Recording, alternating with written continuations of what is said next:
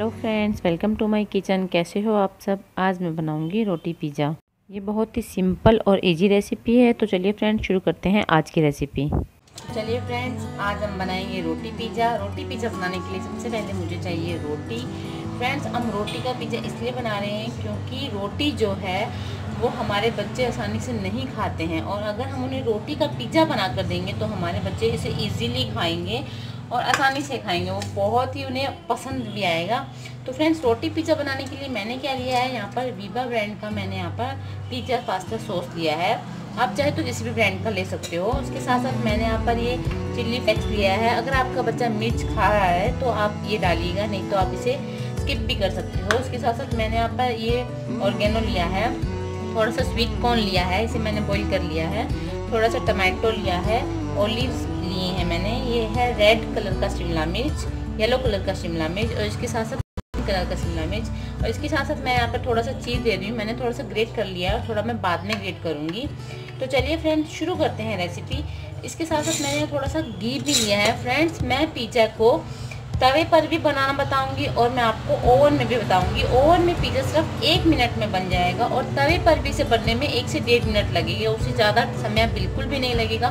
Friends, ये instant और बहुत जल्दी बनने वाली रेसिपी है। आप जल्दी से सब्ज़ियाँ कट कर लीजिए और इस रोटी के ऊपर फैला दीजिए और उसे तवे पर एक डेढ़ मिनट के लिए रख दीजिए। आपका पिज़्ज़ा रेडी हो जाएगा। तो चलिए फ्रेंड्स, बनाते हैं पिज़्ज़ा सबसे पहले मैंने इस रोटी को ले लिया है। देखिए, इसे मैं ले रही हूँ इस रोटी को। ये यहाँ पर मैंने दो रोटियाँ ली हैं।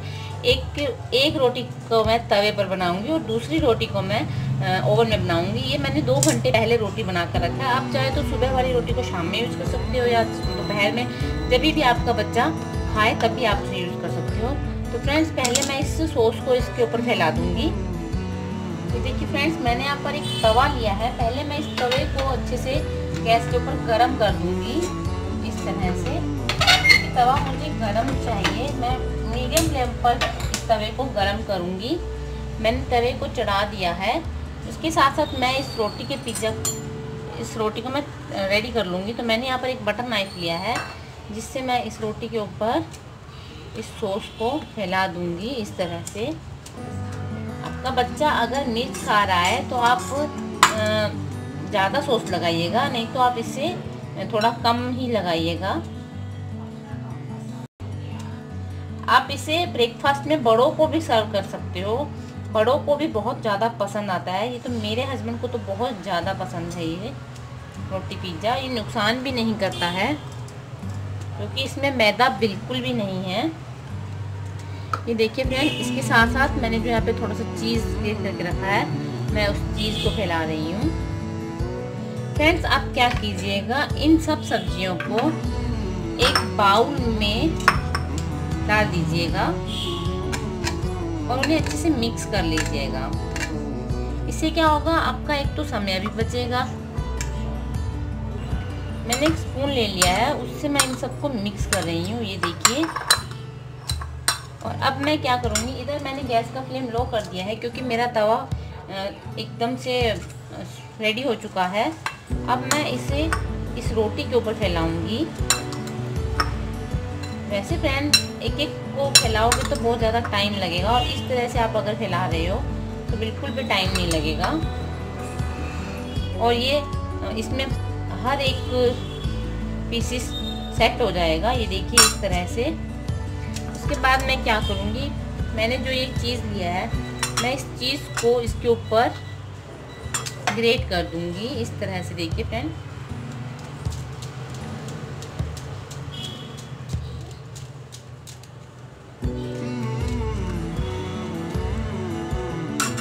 देखिए, हमारी एक रोटी बनकर बिल्कुल रेडी हो चुकी है। मैं इसे प्लेट पर साइड में रख देती हूँ। अब इसी तरह से मैं दूसरी रोटी को भी रेडी कर लूँगी। ये देखिए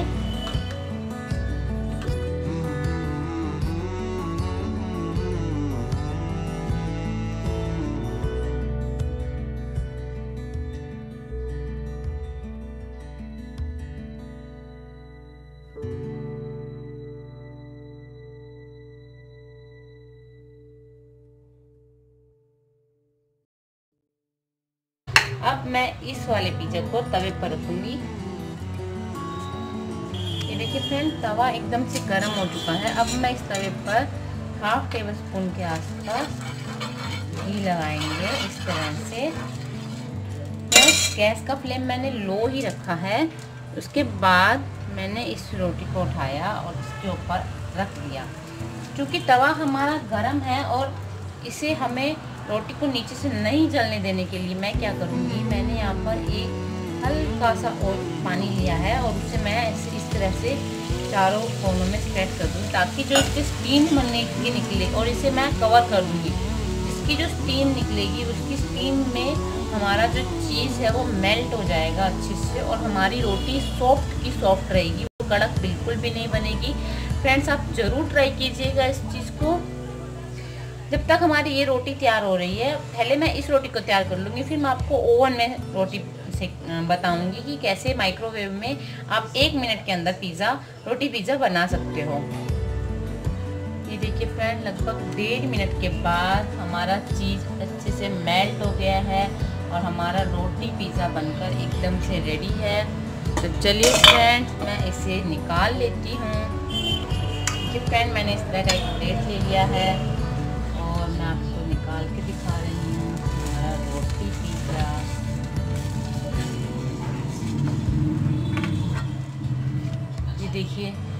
रोटी पिज़्ज़ा बनकर एकदम से रेडी है।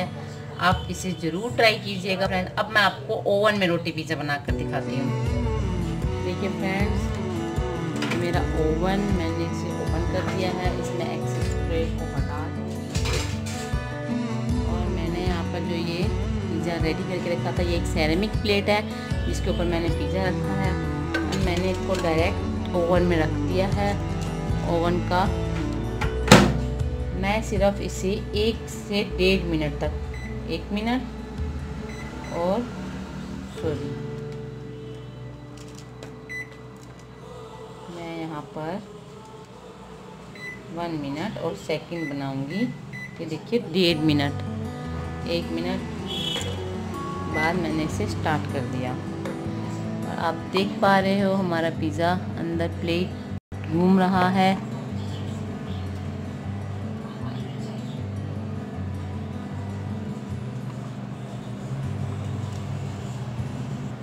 ये देखिए फ्रेंड्स चार, तीन, दो, एक। एंड हो चुका। आपको ओपन करके दिखाती हूँ। आप देख पा रहे हो, चीज़ हमारा कितनी अच्छी तरह से मेल्ट हो चुका है। और ये हमारा रोटी पिज़्ज़ा बनकर एकदम से रेडी है। आप इसे गर्मा गर्म सर्व कीजिएगा। देखिए, सिर्फ़ डेढ़ मिनट में हमारा रोटी पिज़्ज़ा बनकर तैयार हो गया है। आप इसे बच्चों को सर्व कीजिए, बड़ों को सर्व कीजिए बहुत टेस्टी बनता है, यकीन मानिए फ्रेंड्स। तो चल, अगर आपको मेरी रेसिपी पसंद आ रही है तो प्लीज़ इसे लाइक कीजिएगा।